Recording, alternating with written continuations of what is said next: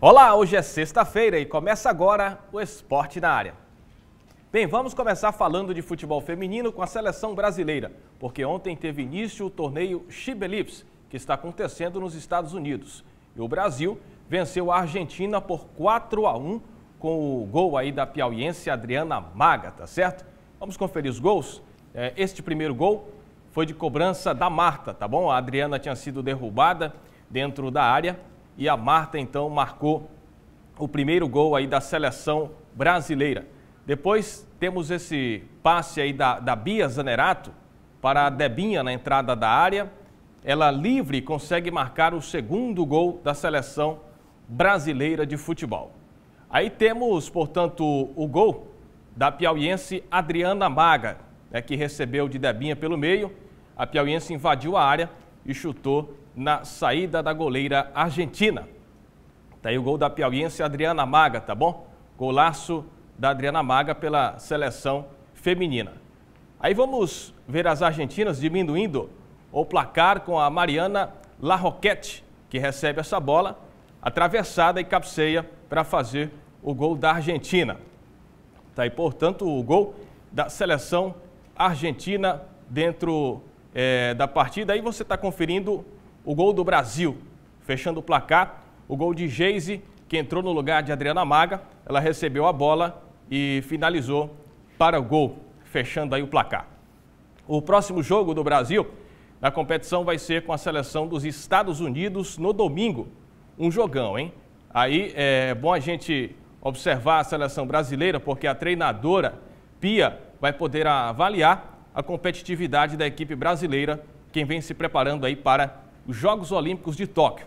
O jogo acontece no domingo, às 5 da tarde, horário de Brasília, tá certo?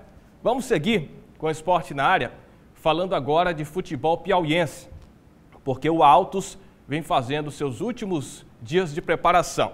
O time estreia no domingo contra a equipe do Flamengo. E o Jacaré segue firme na preparação do elenco para o Piauiense 2021. Tanto que o técnico Fernando Tonê já adianta que o foco e metodologia de trabalho seguem os mesmos dos padrões adotados para o brasileiro, em que o time disputou no ano passado. Nós temos uma forma de jogo. Né? A gente vai repetir a mesma postura tática que nós vínhamos usando no Campeonato Brasileiro do ano passado, da temporada passada, também no Campeonato Estadual né, também na pré-copa do Nordeste, onde nós conquistamos a vaga. Então essa formação tática não muda o esquema de jogo, né? Mas pode ser que algum um ou outro atleta seja diferente se encaixando dentro desse sistema.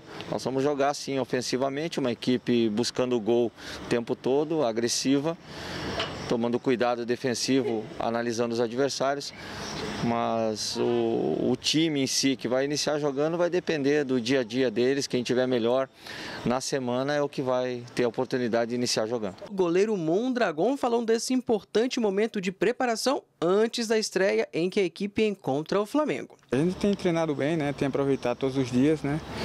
Essa reativação né, da parte física, né, é, acho que todos condicionaram, né, é, principalmente os atletas do alto que estava uma semana parado, né, você sabe que quando é semana de estreia, né, aquela adrenalina, doido para que comece, mas eu acredito que o time do alto hoje está preparado para começar o campeonato. A questão do adiamento da estreia acaba ajudando ou prejudicando a equipe? É, ajudando ou atrapalhando a equipe, a solicitação foi nossa, porque o nosso campo aqui não tinha condição de jogo, nós não conseguimos treinar lá, inclusive, e por isso a solicitação da mudança de local. O dia foi determinação da federação, até porque o 4 de julho joga também no, no seu campo e nós conseguimos esse campo para o nosso jogo. Então a gente tem que se preparar da melhor maneira para encarar o Flamengo lá em Piripiri no domingo. Vamos para um rápido intervalo e na volta, mais esporte piauiense.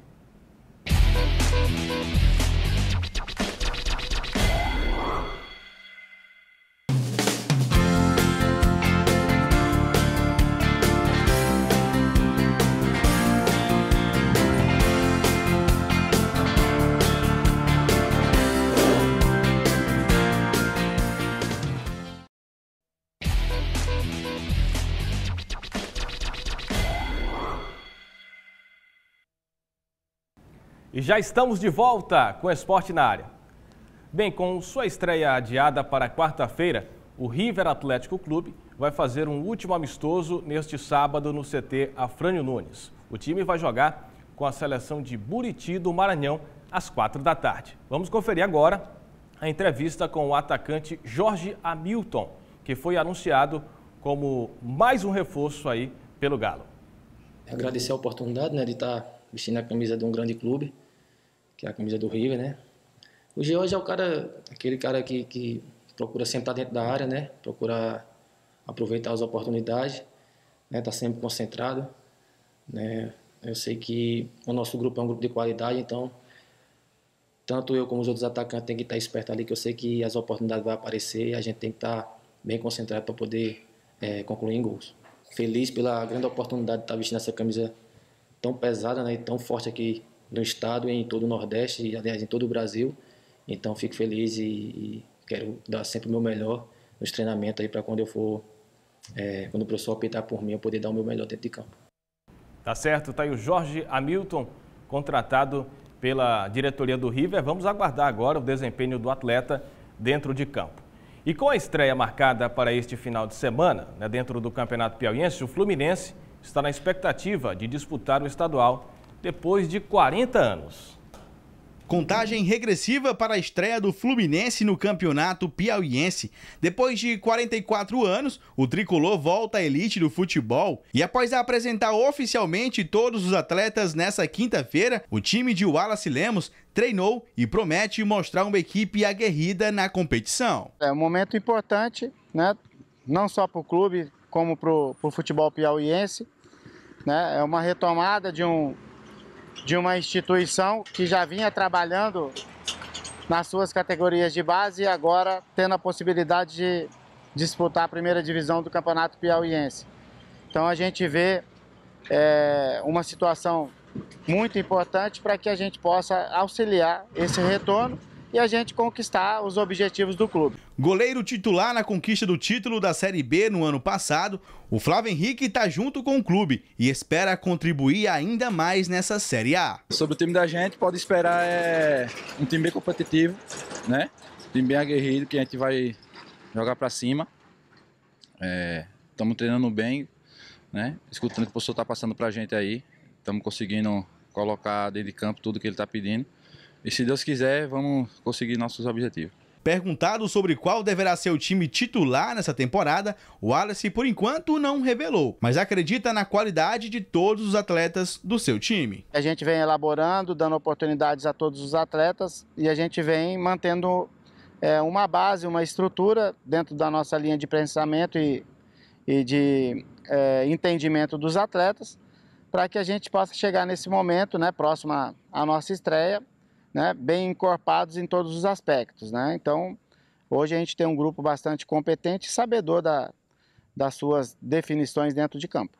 O Fluminense estreia contra o 4 de julho nesse domingo na Arena Itacoatiara, em Piripiri, e vai contar com o atacante Gleicinho, que já disputou duas vezes o Piauiense e agora vai vestir a camisa do Flu na sua terceira passagem pelo nosso futebol. A nossa expectativa está muito boa, a equipe está bastante focada no nosso trabalho, né?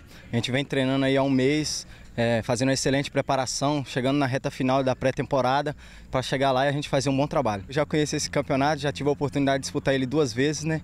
E no campeonato não é fácil, o campeonato é, é bastante disputado e a gente sabe que esse ano não vai ser diferente. Vamos procurar empenhar o máximo para a gente dar o melhor. Beleza, tá certo. Lembrando que amanhã, às quatro da tarde, vamos ter a partida entre Parnaíba e Picos, abrindo o campeonato lá no litoral. E no domingo, 4 de julho, Fluminense, às 9 horas da manhã, lá em Piripiri. Teremos à tarde Altos e Flamengo também acontecendo em Piripiri, às 3h45 da tarde. É isso, esporte na área, vai ficando por aqui.